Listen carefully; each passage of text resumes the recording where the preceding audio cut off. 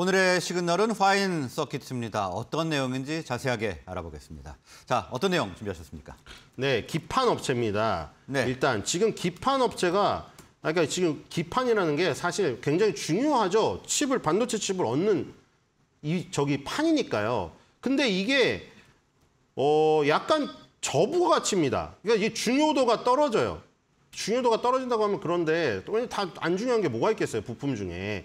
근데 우리가 이제 반도체가 워낙에 최첨단이고 뭐 나노 경쟁을 하다 보니까 시가총액도 그렇게 구성되어 있잖아요. 삼성전자, 그다음 하이닉스, 반도체 업체, 칩 만드는 업체, 그다음에 그 바로 밑에는 삼성전기가 딸려 있고 SK 하이닉스는 없지만 애플에 이제 LG이노텍이 딸려 있는 거죠. 이런 식으로 삼성전기, LG이노텍이 기판을 하는데 걔네는 고부가가치 기판을 하고 무슨 연성 PCB에서 더욱더 나가가지고 이제 뭐 flip chip 막 이런 걸 한단 말이에요. 근데 이제 삼성전기, LG노텍이 어떻게 보면은 삼성과 LG의 밑에서 그런 뭐 고부와 같이 기판을 담당한다고 하면은 그 밑에는 이제 각 분야의 중소 그 강자들이 있어요. 예를 들어서 지금 뭐 작년부터 뜬 해성 DS 같은 경우에는 전장용으로 강자잖아요. 네. 해성 DS는 아예 그냥 전장용 쪽으로 굉장히 부각이 돼버린 것이고 그래서 무슨 맨날 뭐 일본의 르네사스니 뭐 네덜란드 NXP니 뭐 거기랑 연관 연관지어서 뭐 주가가 움직이고 이런 경향이 있는 것이고 그리고 지금 가장 뜨거운 기판 업체는 뭡니까? 이수페타시스죠.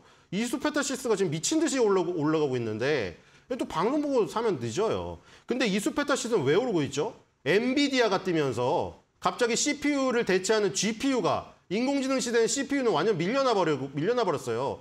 GPU가 중심이 되면서 GPU 칩을 얻는 기판을 이수페타시스가 만들 만들고 거기에 한미 반도체가 본도로 연결해 준다. 이 이게 지금 저기 설립이 되면서 뭐 SK하이닉스는 또 HBM이라는 반도체를 옆에다 붙이죠. 그러니까 여기서 얽히면서 이수페타시스가 급등을 했어요. 삼성전기랑 LG이노텍이 손대지 않고 있던 이 분야를 이수페타시스가 하고 있는데 그 분야가 포텐이 터진 거죠. 그 다음에 이제 대덕전자, 대덕전자는 이수페타시스가 그걸 하고 있을 때 얘는 flip chip으로 갔어요. 근데 대덕전, 근데 어쨌든 대덕전자도 그렇고 코리아 서킷도 그렇고 지금 기판업체가 다 같이 급등을 하고 있습니다. 이런 것에 지금 약간 이유는 일단 아이폰 15, 그 다음에 이제 그 갤럭시 쪽에서는 폴더폰, 그 차세대 폴더폰이 이제 곧 출시가 됩니다. 그런 기대감이 있는 거죠. 그런 기대가 때문에 기판 전체가, 전체가 다 오르고 있는데 지금 오늘 화인 서킷은 또 뭐냐? 가, 어떻게 보면 가장 부가가치가 낮은 거예요, 사실은. 경성 PCB, 딱딱한 거. 우리 어렸을 때 그냥 라디오나 뭐 막 뿌개지면 안에 초록색 판 딱딱한 거 나오잖아요, 그거. 그거 막 네. 납땜돼 있고 그 판이에요. 그게 나중에 이제 연성으로 바뀌죠. 왜냐면 휴대폰이 막 접히고 이러니까 그 딱딱한 판이 어떻게 들어가서 부러지겠죠. 연성 PCB로 바뀌고 뭐 거기서 이제 더 복잡 다단화되다 보니까 뭐 flip chip 나오고 뭐 부- ball grid array가 나오고 막 이러는데 화인 서킷은 경성 PCB란 말이에요. 그러면 이제 적용되는 제품도 약간 옛날 전통적인 전통적인 거 뭐예요? 집안에 있는 커다란 냉장고, 에어컨, 세탁기에 그냥 들어가는 그런 것들이에요. 뭐 냉장고, 세탁기, 에어컨이 무슨 막 폴더폰 요만한 것처럼 반으로 접히겠습니까? 그러니까 경성 PCB 위주로 하는데 오히려 이게 또 좋은 거죠. 이수페타시스에서 보다시피 이수페타시스가 그걸 하고 있었는데 이게 와, 운이 와서 터진 거잖아요. 화인 서킷도 그냥 나는 경성 PCB만 하고 있는데 다른 애들이 다 떠난 거예요. 다른 애들은 더 비싸고 고부가 가치로 떠나버리니까 이제 경성 PCB 얘만 남은 거예요. 왜냐면 중국 애들이 저가로 치고 들어오면 우리나라는 기술력의 우위로 나가기 때문에 저가는 버려버리거든요. 인건비에서 상대가 안 되니까요. 근데 이제 화인 서킷은 계속 이걸 하고 있었죠, 혼자. 계속. 혼자 그냥 살아남았어요. 그냥, 그냥 먹고 살만하게 계속 그냥 진행이 되고 있었어요.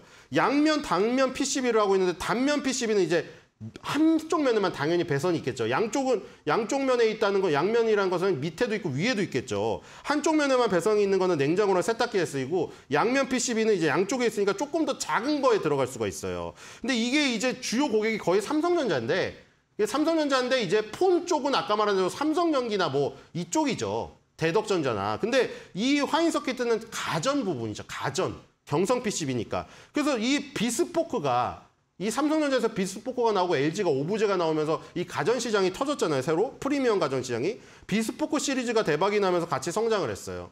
그래서 이제 제2신공장을 작년 12월에 시, 시 생산을 돌리고 올해 1월부터 본격 가동이 됐는데 그래서 연간 단면 PCB는 60만 년 뽑아낼 수 있고 양면 PCB는 66만 년 뽑아낼 수 있습니다. 그 이전보다 두 배 가까이 생산 그 능력이 확충됐어요. 근데 이게 지금 양면 PCB, 단면 PCB를 봤을 때 당연히 양면 PCB, 양쪽에 칩을 붙일 수 있는 게 단가가 더 비싸요. 근데 앞으로 어디 진출할 거냐면 이제 다층 PCB, MLB라고 불리는 시장에 진출할 건데 당연히 다층이니까 여러 층의 기판을 쌓아서 배선이 형성된 PCB인데 이 중에서 이 중에서도 다층 PCB 중에서도 고다층이 있을 거 아니에요? 보통 고다층은 12층짜리 이상. 지금 하이닉스가 뭐 HBM이라고 해서 그게 그게 12층짜리예요.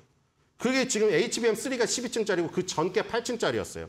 근데 이거는 MLB인데 얘네는 그중에 8층 이하 저층 MLB를 할 거다. 저층 MLB로 어디를 갈 거냐? 자동차 전장 시장으로 간다. 근데 MLB는 단면 PCB 가격의 6배고요. 양면 PCB 가격의 1.8배예요. 그러니까 지금 단면 PCB보다 양면 PCB를 파는 게 그리고 양면 PCB보다 MLB를 파는 게 단가가 높고 마진이 많이 남아요.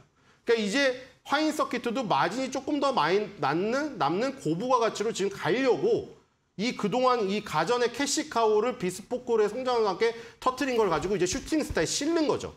그래서 화인 서킷도 경성 PCB고 조금 삼성전자, LG이노텍 이런 데서 안 건드리는 저부가 가치 기판이지만 꾸준히 여기를 파면서 다른 애들이 다 떠나고 여기 딱 하나 남은 거죠.